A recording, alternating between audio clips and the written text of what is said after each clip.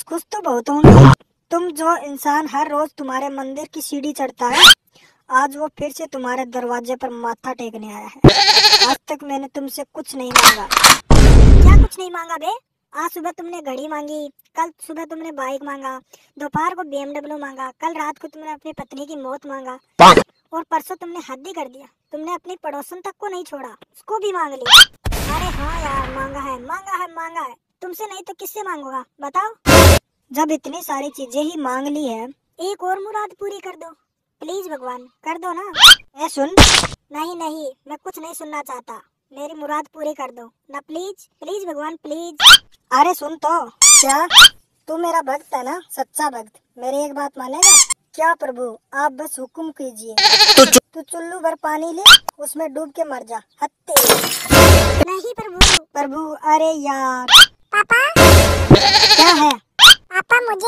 चाहिए। क्या बे तेरे को कार क्यों चाहिए? पापा मुझे दूर की चीज़ें दिखाई नहीं देती। कार होगी तो कार लेके दूर जाऊँगा और खिड़की में से दूर की चीज़ें बाहर देखूँगा। यार बालों पर हाथ ना लगाओ बाबा पूरा स्टाइल ही खराब कर दिया। टाइम जाओ जाके पढ़ाई कर लो। अरे पढ़ाई करके क्या होगा? अरे अच्छे से पढ़ाई करेगा तो अच्छा मार्क्स मिलेगा। अच्छा मार्क्स आएगा तो क्या होगा? मार्क्स अच्छा आएगा तो अच्छी नौकरी मिलेगी फिर घर होगा कार होगी। और इसके बाद क्या होगा? अरे बेटा उसके बाद तो आराम ही आराम करेगा तेरी तो मौज ही मौज होगा। हाँ तो अभी क्या कर रहा हूँ? मौजी तो कर रहा हूँ ना? इतनी मेहनत करने की क्या ज़रूरत है? अच्छा पापा आप वो सब छोड़िए। ये बताइए मेरे दोनों आँखों में से कौन सी आँख बड़ी है? तेरी दोनों आँखें तो बराबर है। सेम टू सेम तो मैं बड़े आँखों वाली एबीसीडी कैसे लिखूँगा पापा? हे भगवान तूने मुझे ये कैसा बच्चा दिया है? हे भगवान उठा ले रे बाबा उठा ले। क्या पापा हर पल ऊपर वाले को ही दोष देते रहते हो? ये सब छोड़िए मेरा एक काम कर दीजिएगा। मैं तेरा काम क्यों करूँ? देखिए पापा मेरा तुम काम करोगे तो मैं आपको एक लाख रुपए दूँगा। शक्ल देखो सूतली बम जैसी और बात परमाणु बम जैसी। मेरे पास पैसा कहाँ से आएगा बे?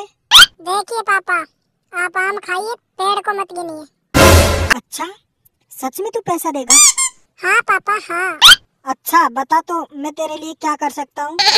आप मुझे दो लाख रुपए दे दो मैं आपको एक लाख रुपए दे दूँगा।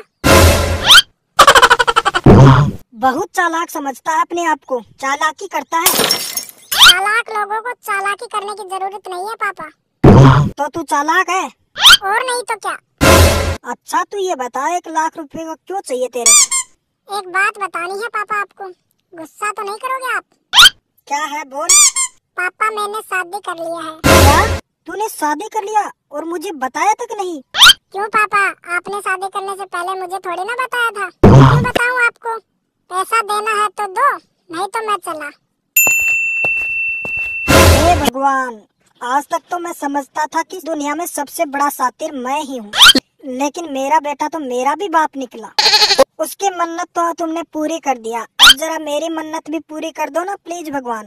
कर दो ना प्लीज़ तो तुझे पड़ोसन को पटाना है। हाँ पटाना है पटाना है पटाना है। जरा पीछे तो देखो बेटा। तुमने कुछ सुना? समझा भी